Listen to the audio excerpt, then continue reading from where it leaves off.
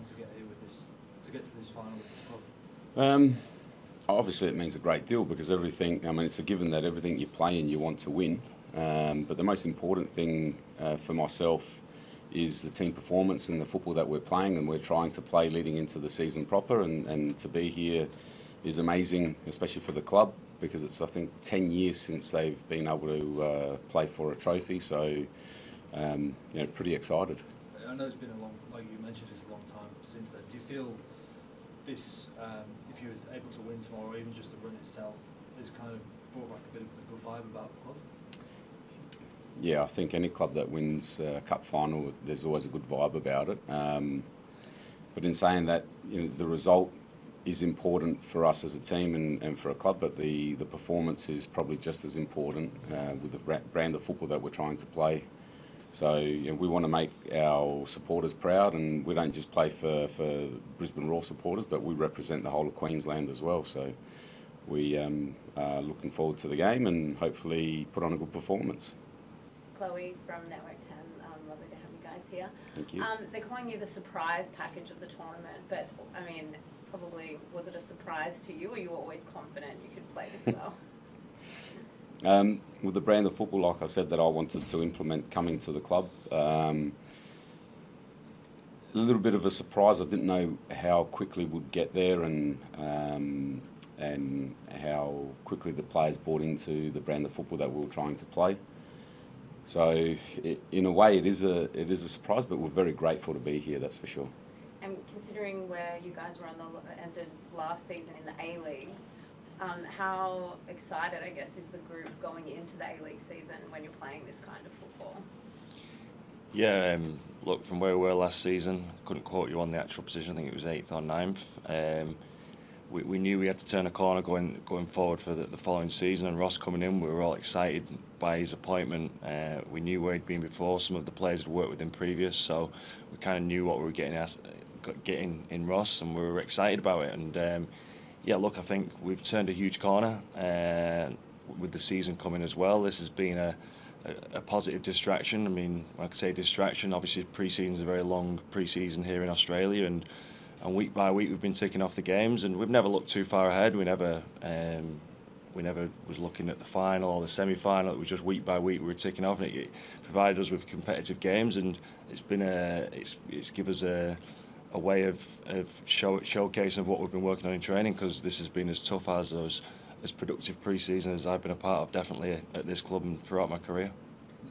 Is it fair to say Ross, Ross has brought the fun back in a way? Like in, back in the last year, it felt like you guys were just waiting to get to the end of the season, and you know you obviously had Warren going, and then it was Nick coming in. Like the whole the whole change is that is that a stretch or is that a First Nation thing? No, it's very fair. Um, we we were at a stage last season where it was kind of just get through the season um, and just finish in a kind of position that was respectable in a way in which as players you don't want to be playing like that. You, you want to be competing you want to be uh, in the in the top six in the league and obviously competing for trophies and as be it with this is the cup. So yeah it's been a breath of fresh air with, with Ross coming in and uh, yeah we were excited not just for tomorrow but for the, the, the season coming ahead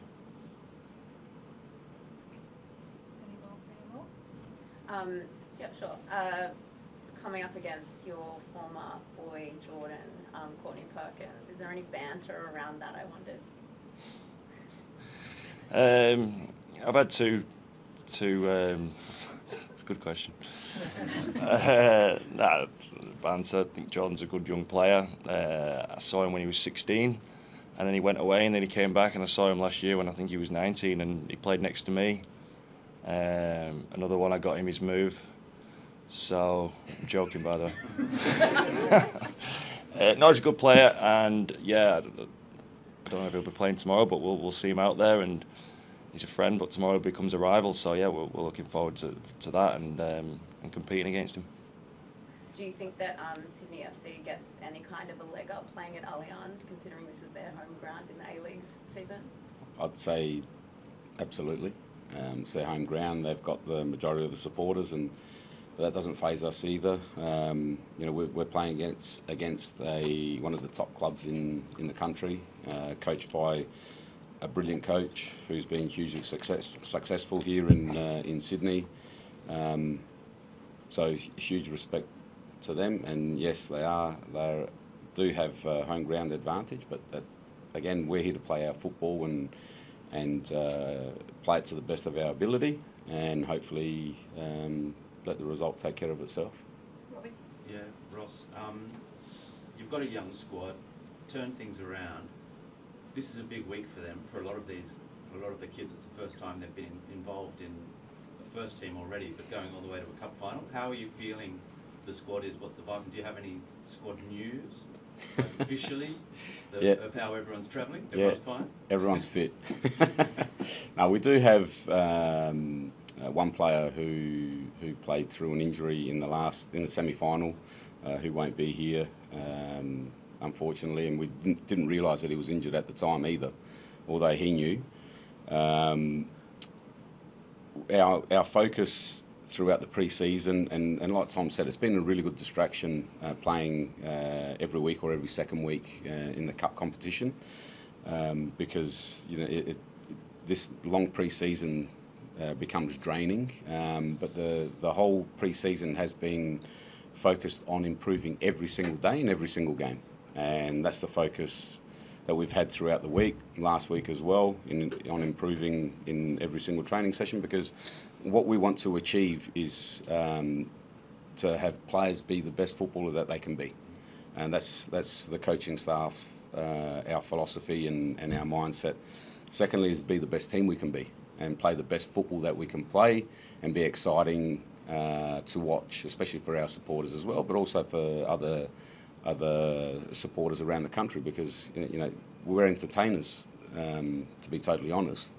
Um, so that, that's the focus, and I've, I've taken. it- I can see the young boys maybe a little bit of nerves, but I don't know. There's some clown in the team that uh, jokes around with them all the time, and I just try to keep their you know their nerves intact. But I'm sure tomorrow night they will be uh, a little bit nervous, but you know nervous energy is always good.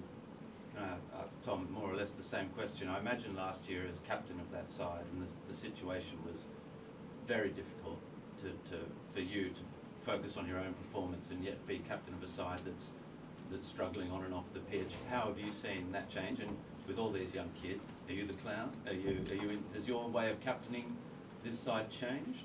And, and are you enjoying it more? He wasn't the clown; it was No. me.